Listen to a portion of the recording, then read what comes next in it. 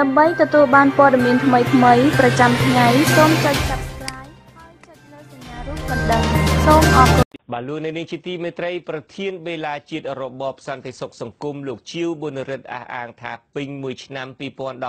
2017មានកម្មករកម្មការិនីដួលសន្លប់ចំនួន1160នាក់ចំនួននេះបើប្រៀបធៀបទៅនឹងឆ្នាំ2016លោកជាវប៊ុនរិទ្ធប្រៀបធៀបថាចំនួនដួលសន្លប់មានការថយចុះ លោកត្រូវបានសារព័ត៌មានទីភ្នាក់ងារកម្ពុជា AKP ស្រង់សម្ដីថាការថយចុះចំនួនកម្មករដួលសន្លប់នេះគឺដោយសារក្រសួងការងារបានចាត់វិធានការព្រមានដល់ម្ចាស់រោងចក្រសហគ្រាសនិងគ្រឹះសហនានាជាពិសេសនាយករដ្ឋបាលរោងចក្រត្រូវយកចិត្តទុកដាក់ចំពោះបរិយាកាសនៅក្នុងរោងចក្រនៅខាងក្រៅរោងចក្រដោយរៀបចំប្រព័ន្ធសុវត្ថិភាពឲ្យបានត្រឹមត្រូវលោកបន្តថាក្នុងចំណោមអ្នកដួលសន្លប់ចំនួន100 1160នាក់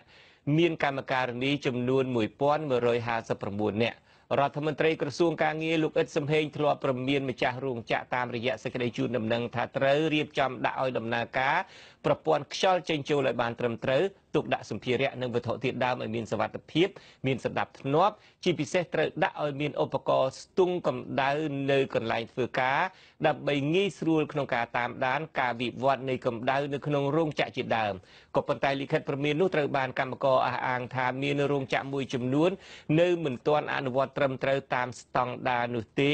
ជាហេតុនាំឲ្យកម្មករដួលសន្លប់នៅតែមានចំនួនខ្ពស់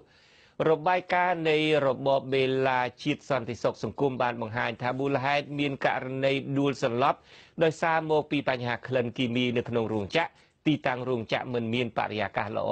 ចង្អៀតផ្នែកចិត្តសាស្ត្រសង្គមករណីកម្មករស្លុតដួលតាមគ្នាបញ្ហាមេកានិកស្របពេលសុខភាពកម្មករមានសភាពទន់ខ្សោយដោយសារការសម្រាកមិនគ្រប់គ្រាន់ការហូបអាហារមិនទៀងទាត់និងគ្មានជីវជាតិ បាទជាបន្តទៅទៀតនេះខ្ញុំបាទនឹងមានបទសម្ភាសតាមប្រព័ន្ធ Skype ជាមួយលោកអាត់ធុនដើម្បីឲ្យលោកបកស្រាយបន្ថែមជុំវិញចំនួននៃការដួលសន្លប់នេះបាទខ្ញុំបាទសូមជម្រាបសួរលោកអាត់ធុនបាទ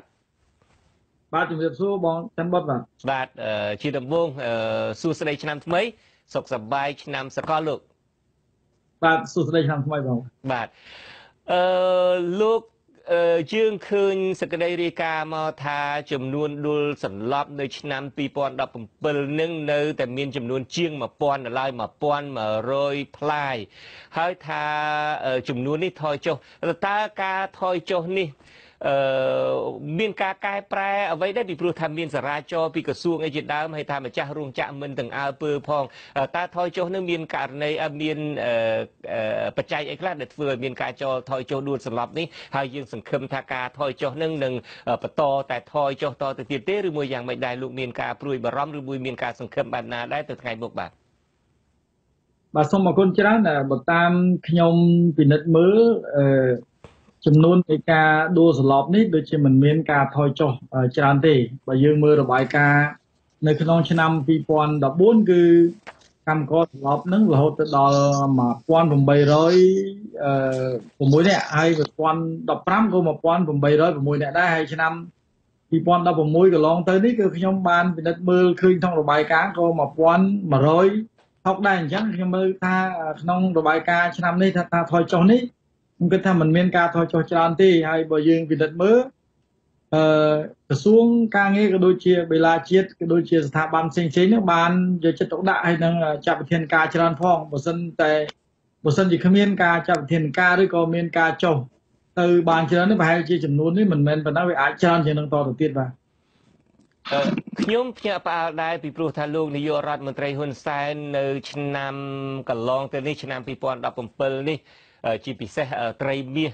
ទី4ត្រីមាសចុងក្រោយនៃឆ្នាំ2017នឹងគឺលោកបកកើនការយកចិត្តទុកដាក់បកកើនការចុះលួងលោមការផ្ដល់ការធានាសេវាសុខភាពសេវាជិះរថយន្តក្រុងអីជាដើមនឹងច្រើនណាស់ដល់កម្មករក៏ប៉ុន្តែហេតុអីក៏មានការថយចុះតិចតួចបើតាមប្រសាសន៍លោកនេះលោកស្ថានភាពយើងពិនិត្យមើលឃើញថាការសន្លប់វាមានមូលហេតុធំពីរ មានន័យថាកម្មករនយោជិតហ្នឹងគឺដោយសារតែប្រាក់ឈ្នួលគាត់ទាបគាត់ចំណាយទៅលើអាហាររបស់គាត់នឹងអត់គ្រប់គ្រាន់ហើយគាត់ធ្វើការច្រើនម៉ោងមានអ្នកខ្លះធ្វើការ10ទៅ12ម៉ោងហ្នឹងទៅតាមចំនួនរោងចក្រហើយគាត់ស្នាក់នៅក៏មិនបានល្អអាហារហូបចុកក៏មិនបានគ្រប់គ្រាន់គាត់ធ្វើការយូរឆ្នាំទៅនៅក្នុងបរិយាកាសមិនល្អគឺសុខភាពគាត់ចុះខ្សោយនៅពេលដែលមានសារធាតុគីមីឬក៏បរិយាកាសកម្ដៅវាខ្លាំងនៅក្នុងក្រុមហ៊ុនកន្លែងខ្លះ គឺមានថាបិទឬក៏រនាំងបិទអីចឹងជុំវិញហ្នឹងទៅមានបរិយាកាសល្អអុកស៊ីហ្សែនអត់គ្រប់គ្រាន់គឺសន្លប់តែម្ដងមានន័យថាគាត់នេះគឺខ្សោយស្រាប់ទៅហើយហើយយើងឃើញថារយៈខ្លីនេះគឺឃើញទូនយោរដ្ឋមន្ត្រីក៏ដូចជាខាងក្រសួងគឺថាមានការចោះច្រើនទៅដើម្បីត្រួតពិនិត្យឬក៏ថាទៅជួយទៅដល់កម្មករនៅបញ្ហាផ្សេងផ្សេងប៉ុន្តែចំនួនការសន្លប់នេះបើតាមខ្ញុំពិនិត្យមើលមិនមិនថយទេវាមានន័យថា វានៅតែច្រើនដដែលបើគុំតែមានវិធានការចុះហ្នឹងចំនួននេះវានៅច្រើនហើយខ្ញុំសូមបញ្ជាក់ថាការសន្លប់នៅទៀតសោតគឺខ្ញុំគិតថាសារតែពាក់ព័ន្ធនឹងបញ្ហាដែលគាត់ហូបចុកមិនគ្រប់គ្រាន់ហើយសុខភាពចុះចុះចុះខ្សោយនេះគឺជាបញ្ហាធំហើយខ្ញុំមើលឃើញថាមិនទាន់មានវិធានការអីល្អទេបើតាមមើលទៅរោងចក្រសហគ្រាសមួយចំនួនហ្នឹងគាត់នៅតែ គឺថាមិនមានការយកចិត្តទុកដាក់ឬក៏ការត្រួតពិនិត្យឲ្យបានច្បាស់លាស់ទេ ជាពិសេសគឺថាអធិការកិច្ចរបស់ក្រសួងកាងារក្រសួងបរិស្ថាននេះហ្នឹងគឺមិនសូវមានអធិពលនៅក្នុងការចុះទៅត្រួតពិនិត្យក្រុមហ៊ុនទេខ្ញុំនិយាយតាមជាក់ស្ដែងទៅក្រុមហ៊ុនខ្លះតាមខ្ញុំជួបខាងអធិការកិច្ចហ្នឹងគឺថាសំបីតែមន្ត្រីអធិការកិច្ចហ្នឹងមិនទាំងមានលទ្ធភាពចុះទៅផងដោយសារតែមានអ្នកធំអីចឹងជាទីប្រឹក្សាចឹងទៅអឺកន្លែងខ្លះ គាត់អាចចុះទៅដែរប៉ុន្តែគាត់ថាឧបករណ៍មួយចំនួនតែពាក់ព័ន្ធបច្ចេកទេសគាត់មានអត់គ្រប់គ្រាន់ចឹងទៅកន្លែងខ្លះទៀតគឺស្ថានភាពខ្លះអឺខាងមន្ត្រីខ្លះគាត់មានជាទីប្រឹក្សាចឹងទៅអញ្ចឹងបានជាបញ្ហាហ្នឹងវាមិនអាចដោះស្រាយបានខ្ញុំគិតថាបើសិនជាអនុវត្តទៅតាមច្បាប់ដែលមានជាធរមានដូចបច្ចុប្បន្ននេះបើសិនជាក្រុមហ៊ុននឹងមិនអនុវត្តតាមច្បាប់យើងណែនាំហើយណែនាំបានយើងវិន័យបើវិន័យមិនបានអាចបិទក្រុមហ៊ុននឹងចោលមួយពីរខ្ញុំគិតថា ក្រុមហ៊ុននឹងធ្វើការខ្លាចរអាហើយដែលទេកន្លងមកដែលទេមានពិន័យមានការធ្វើដាក់ពិន័យដល់ក្រុមហ៊ុនដែលធ្វើឲ្យមានខ្យល់ចេញចូលអត់បានស្រួលបួលមានចំហាយជាតិគីមីអីជាដើមដែលមានការដាក់ពិន័យទេលោកខ្ញុំបានជួបខាងអធិការកិច្ចគាត់បានប្រាប់ថានៅឆ្នាំនេះមានការដាក់វិន័យច្រើនប៉ុន្តែចំនួនការដាក់វិន័យជាទឹកប្រាក់ឬក៏ការដាក់វិន័យនោះគឺខ្ញុំគិតថាมันប៉ះពាល់អីទៅនឹងក្រុមហ៊ុនទេដោយសារតែ ដាក់វិន័យវានៅទៀបនៅឡើយវានៅដូចថាកម្រិតមួយដែលមិនទាន់មានអធិពលដែលឲ្យក្រុមហ៊ុនហ្នឹងមានការបារម្ភទេហើយអ្វីដែលខ្ញុំចង់បញ្ជាក់សំខាន់នោះគឺថា នៅពេលដែលក្រុមហ៊ុនធ្វើខុសវិន័យនឹងវាតិចតួចហើយក្រុមហ៊ុនវាអត់ប៉ះពាល់ទៅដល់អ្វីដែលជាអាជីវកម្មរបស់ខ្លួនបើសិនជាការអនុវត្តច្បាប់ឲ្យបានល្អហើយក្រុមហ៊ុននឹងមានការខុសធ្ងន់ធ្ងរអាចវិន័យរហូតទៅដល់មានការផ្ជួឬផ្អាក ដំណើរការអាជីវកម្មឬក៏អាចរឿងធ្ងន់ធ្ងរអាចរហូតទៅដល់មានការចាត់វិធានការអាចថាបិទក្រុមហ៊ុនខ្ញុំគិតថាវិន័យនេះគឺអាចឲ្យម្ចាស់សហគ្រាសគ្រឹះស្ថាននឹងមានការខ្លាចហើយអាចនឹងអនុវត្តបានប្រសើរឡើងប៉ុន្តែបញ្ហាសំខាន់បើសិនជាការដាក់ពិន័យទៅធ្វើឲ្យខូចខាតដល់ក្រុមហ៊ុននឹងថាអាចធ្វើទៅកើតទេពីព្រោះបើតាមយើងដឹងថាមានអ្នកនៅពីក្រោយនឹងដែរបើខូចប្រយោជន៍របស់ក្រុមហ៊ុនខូចអ្នកដែលខ្នងក្រាស់នៅពីក្រោយនឹងដែរតើអាចទៅកើតទេ នេះគឺជាបញ្ហាធំដែលយើងឃើញនៅបច្ចុប្បន្ននេះគឺក្រុមហ៊ុនសហគ្រាសគ្រឹះស្ថានមួយចំនួនគឺព្យាយាមមិនអនុវត្តតាមច្បាប់ទេដោយសារតែមានខ្នងបង្អែកហើយក្នុងមួយថ្ងៃនេះបើយើងប្រៀបធៀប3 4ឆ្នាំក្រោយមកនេះទោះបីជាមានការកាត់បន្ថយច្រើនប៉ុន្តែនៅតែមានហើយយើងគិតថាបញ្ហានេះវាជាបញ្ហាមួយដែលកម្មករនិងពួកយើងខ្ញុំទទូច ហើយទទូចទៀតគឺឲ្យរដ្ឋាភិបាលហ្នឹងគឺថាធ្វើយ៉ាងណាគឺលុបបំបាត់នៅអ្នកដែលទីប្រឹក្សាក្រុមហ៊ុនហើយអ្នកកាងនៅក្រុមហ៊ុនហ្នឹងមិនត្រឹមតែជំរុញលើកទឹកចិត្តឲ្យក្រុមហ៊ុននឹងមិនខ្លាចមិនអនុវត្តច្បាប់ទេប៉ុន្តែមានបទល្មើសមួយចំនួនអាចធ្វើឲ្យកម្មករនឹងមានបញ្ហាឬក៏រាំងស្ទះទៅដល់ដំណើរការនៃការតវ៉ាទាមទារឬក៏សិទ្ធិរបស់កម្មករនឹងខ្លាំងមែនទែនមិនមិនត្រឹមតែផ្នែកសុខភាពទេបាទបាទ អញ្ចឹងបញ្ហាសំខាន់គឺថាតើតែរៀបចំជើងកាង ដាក់ពិន័យជើងកាងឬមួយក៏រៀបចំសម្រួលឲ្យពួកជើងកាងនឹងឯងមានវិន័យឡើងវិញបានអាចដោះស្រាយបញ្ហានឹងបានក៏ប៉ុន្តែមួយទៀតលោកនាយករដ្ឋមន្ត្រីប្រកាសថានឹងតម្លើងប្រាក់ខែដល់កម្មករជាពិសេសចាប់ពីឆ្នាំ2018នឹងទៅហើយលោកក៏មានប្រសាសន៍តែថាបច្ច័យមួយដែលចូលរួមធ្វើឲ្យកម្មករដួលសន្លប់នឹងក៏មកពីប្រាក់ខែតិចតួចហើយញ៉ាំមិនគ្រប់គ្រាន់មានជីវជាតិមិនគ្រប់គ្រាន់ក៏ទប់ទល់ទៅនឹងអាការក្តៅទប់ទល់ចំហាយគីមីនឹងមិនបានផងក៏ដួលសន្លប់ទៅ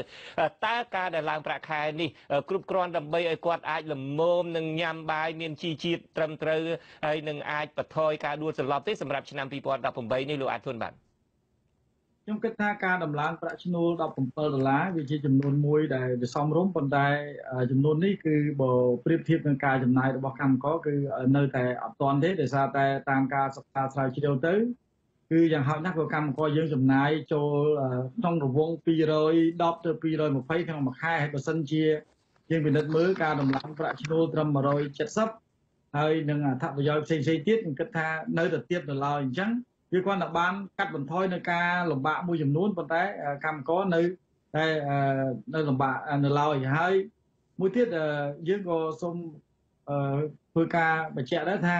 បើទោះបីជាប្រាក់ឈ្នួលនឹងឡើងប៉ុណ្ណាក៏ដោយប៉ុន្តែបើតម្លៃតំណែងទីផ្សារហ្នឹងមិនមានការថយចុះទេគឺតម្លើងទៅក៏នៅតែកម្មករលំបាកដែរ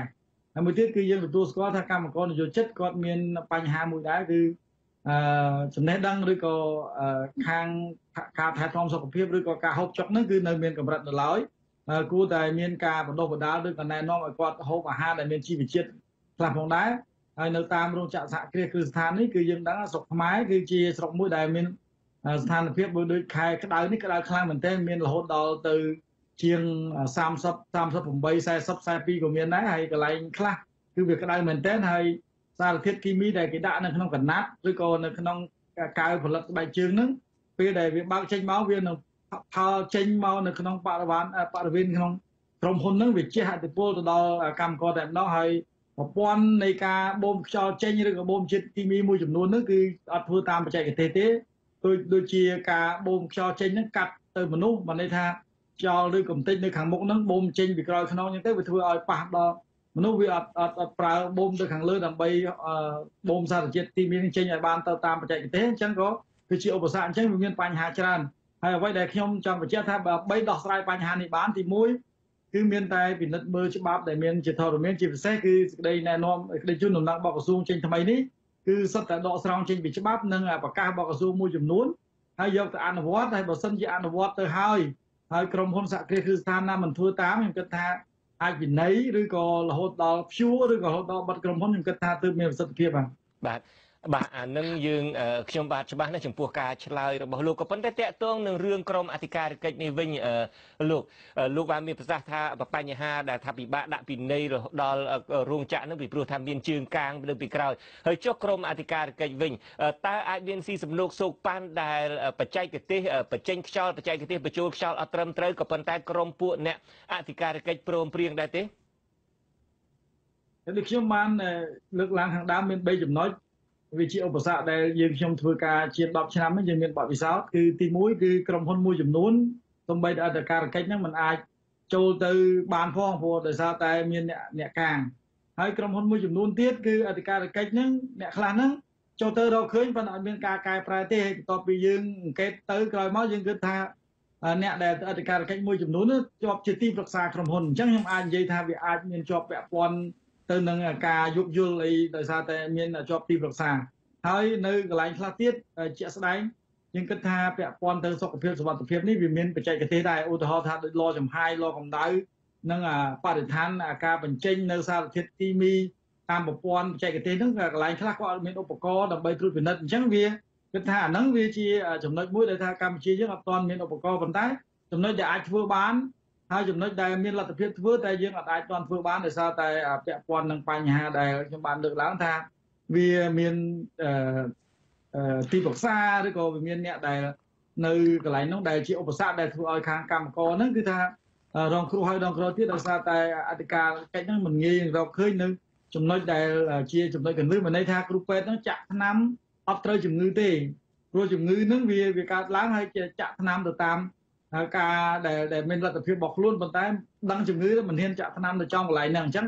នេះគឺជាស្ថានភាពមួយដែលវាជាឧបសគ្គបាទអរគុណលោកអាធុនសង្ឃឹមថាការចុះមួយអាទិត្យ3ដងរបស់លោកនាយករដ្ឋមន្ត្រីហ៊ុនសែនអាចនឹងរកឃើញបញ្ហានេះនៅមុនការបោះឆ្នោតឆ្នាំ2018នេះបាទខ្ញុំបាទសូមអរគុណនិងសូមជម្រាបលាលោកអាធុនតែប៉ុណ្ណេះសូមជម្រាបលាបាទ